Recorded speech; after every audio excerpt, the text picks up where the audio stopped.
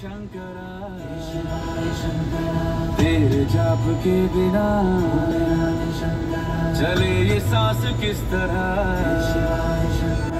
मेरा कर्म तू ही जान के